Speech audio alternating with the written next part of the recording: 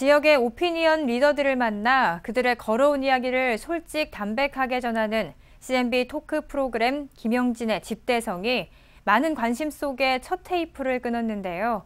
이번 시간에는 올해 개교 90주년을 맞은 한밭대학교 송하영 총장을 만나 지난 90년의 세월과 현재 그리고 미래를 들어보는 자리를 가졌습니다. 취재 박현수 기자입니다. 지역의 오피니언 리더들의 삶과 철학을 들어보는 김영진의 집대성이 개교 90주년을 맞은 한밭대학교를 찾았습니다. 지난 2014년 7월 한밭대학교의 제7대 총장으로 부임한 송하영 총장은 김영진의 집대성을 통해 한밭대학교의 지난 90년의 세월과 현재 그리고 미래를 전했습니다. 한밭대학교는 지역의 중심적인 국립대학이고 어느덧 지역의 자부심이 되었습니다. 어, 그 근간에는 7만 8천여 동문들이 있습니다. 이 동문들이 지역사회와 함께 성장하고 공헌하고 있습니다. 저는 우리 한밭대학교 90년의 역사 함께한 모든 분들께 감사하고요. 앞으로 100년, 150년, 200년 긍정합니다. 우리 대학은 지역과 함께 그리고 그로컬 리더를 양성해서 꾸준히 이렇게 행복한 공동체로 성장 발전할 거라고 생각합니다. 우리 대학. 총장으로 취임한 지 어느덧 2년 6개월. 그동안 많은 사업들을 추진했지만 송 총장이 가장 중요하게 생각하는 것은 바로 소통. 학생과 교직원, 청소 용역 근로자까지. 송 총장은 언제 어디에서든 온 오프라인을 막론하고 그들의 다양한 이야기를 듣기 위해 노력하고 소통 문화를 확산시키는 데 앞장섰습니다.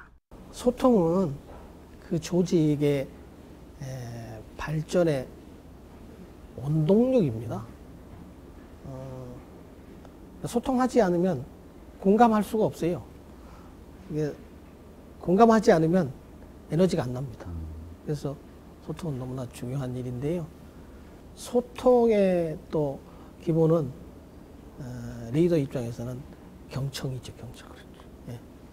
예.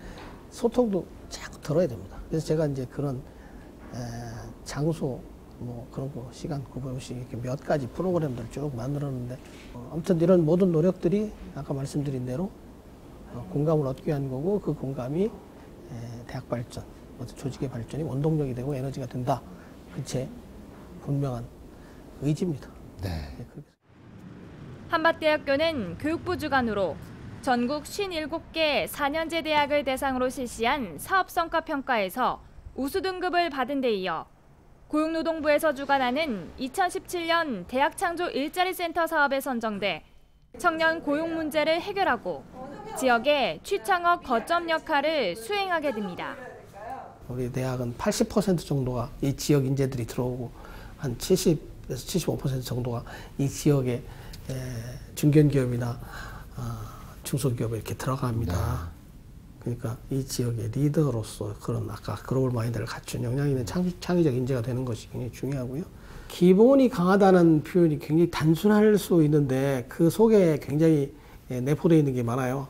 그러니까 일단은 사람이 되어야 되겠죠. 인성, 인성. 충분해야 되고. 그리고 전문가, 본인이 갖고 있는 그 전공에 대한 전문가 자부가 있어야 됩니다.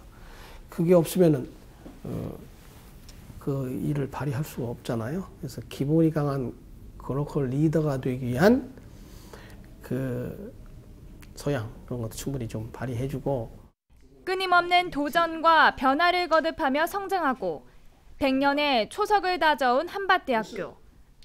오랜 역사와 전통을 이어오고 있는 만큼 송하영 총장은 한밭대학교가 지역민에게 사랑받는 대학이 되기를 소망하고 있습니다. 지역 시민들께 우리 한밭대가 개교 90주년이 됐다는 사실이 널리 알려질 수 있고 또 이렇게 오랜 역사와 전통을 갖고 개교 100주년을 준비하는 대학으로서 지역 사회에 많은 사랑을 받고 싶습니다. 물론 대학에 많은 대학이 있어요. 근데 지역의 자부심이자 국립대학으로서 사명과 우리 학생들을 잘 가르쳐서 제4차 산업혁명 시대를 살아갈 수 있는 능력 있는 창의적 인재로 양성하고자 최선을 다하고자 하니 시민들께서 많이 사랑해 주시길 한 번 더 부탁드립니다. 지역의 오피니언 리더들을 만나 그들이 걸어온 이야기와 철학을 솔직 담백하게 전하는 김영진의 집대성. 김영진의 집대성은 말 그대로 집중 대화를 통해서 성과를 내기 위해서 기획된 프로그램입니다. 어, 우리 지역 오피니언 리더들을 찾아뵙고요. 대화 속에서 그분들이 어떻게 살아왔는지, 그분들의 철학, 또 어떻게 살아갈지 또 들어보는 프로그램입니다.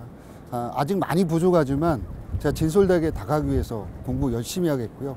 시청자 여러분들도 이 프로그램을 보면서 많은 걸 느끼고 배웠으면 하는 바람을 가지고 있습니다. 앞으로 많이 사랑해 주시고요. 열심히 하겠습니다. 감사합니다.